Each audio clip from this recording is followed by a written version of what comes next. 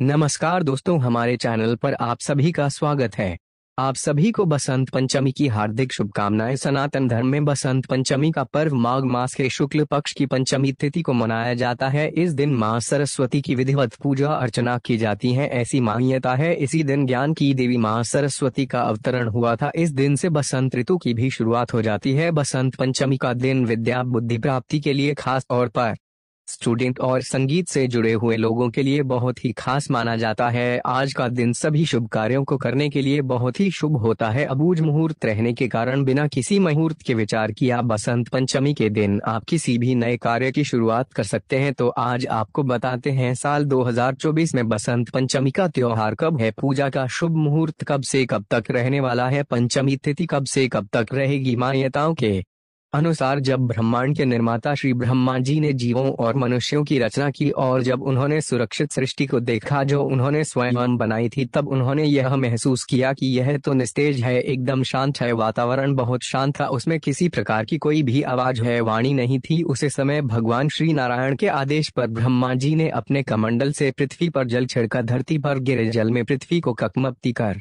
दिया और एक चतुर्भुज सुंदर स्त्री एक अद्भुत शक्ति के रूप में प्रकट हुई। उसे देवी के हाथ में वीणा, दूसरे हाथ में मुद्रा तथा अन्य दो हाथों में पुस्तक और माला थी। श्री ब्रह्मा जी ने उसे दिव्य शक्ति से वीणा बजाने का आग्रह किया। वीणा की धुन के कारण पृथ्वी पर रहने वाले सभी जीवों, मनुष्यों को वाणी प्राप्त हुई और उसे क्षण के बाद उसे देवी शक्ति को देवी सरस्वती कहा गया। देवी सरस्वती ने वाणी सहित सभी आत्माओं को ज्ञान और बुद्धि प्रदान की मान्यता है कि इस पंचमी को देवी सरस्वती की जयंती के रूप में मनाया जाता है क्योंकि यह घटना माघ महीने की पंचमी को हुई थी और देवी सरस्वती को बागेश्वरी, भगवती, शारदा, मीनवादिनी और वाग्देवी अनेकों नाम से पुकारा जाता है। संगीत की उत्पत्ति के कारण उन्हें संगीत की देवी के रूप में भी पूजा जाता है। पुराणों में बसंत पंचमी को मुख्य रूप से नई शिक्षा और गृह प्रवेश के लिए बहुत ही शुभ दिन माना गया है साल 2024 में 14 फरवरी बुधवार के दिन बसंत पंचमी है। यदि आप उपवास रखना चाहते हो तो इसी दिन आप उपवास भी रख सकते हैं। पंचमी तिथि प्रारंभ होगी 13 फरवरी, मंगलवार की दोपहर दो बजकर तैतालीस मिनट से इसकी समाप्ति होगी। 14 फरवरी बुधवार की दोपहर बारह बजकर दस मिनट पर उदय तिथि के अनुसार 14 फरवरी को ही पंचमी का पर्व मनाया जाएगा। वसंत पंचमी की पूजा का यानी देवी सरस्वती की पूजा का शुभ मुहूर्त रहेगा। चौदह फरवरी को सुबह सात बजे से लेकर दोपहर बारह बजकर दस मिनट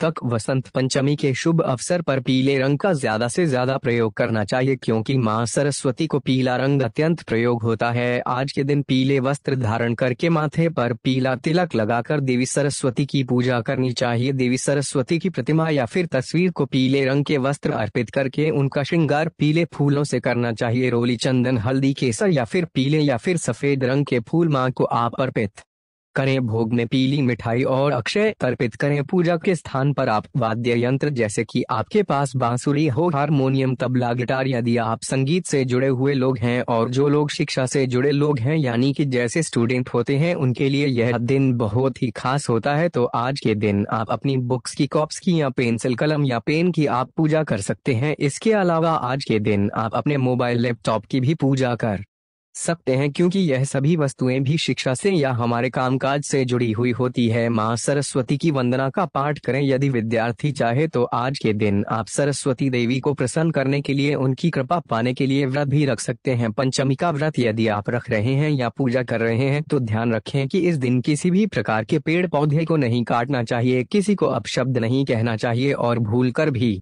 शिक्षा से जुड़ी भी जो भी चीज़ है या संगीत से जुड़े जो भी इंस्ट्रूमेंट है, उनका अपमान नहीं करना चाहिए। उम्मीद है जानकारी आपको पसंद आई होगी। वीडियो अगर अच्छी लगी हो तो हमारे चैनल को सब्सक्राइब करें।